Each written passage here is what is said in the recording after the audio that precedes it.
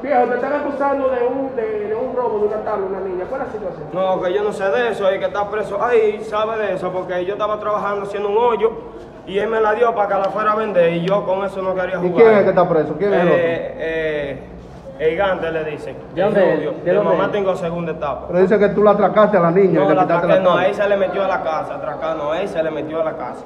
Pero tú Y le entregaste la tabla. Claro, porque él me la dio a mí a vender. ¿Cómo es el Él nombre tuyo completo? Frenely de la Rosa Spin. ¿Ha caído preso, Frederico? en otra? Sí. ¿Por qué? ¿Eh? ¿Por qué? Pues robo. O sea, que tú robas. No, pero no así, no.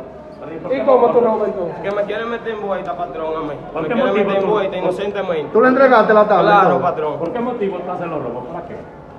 ¿Cuál es el nombre tuyo, viejo?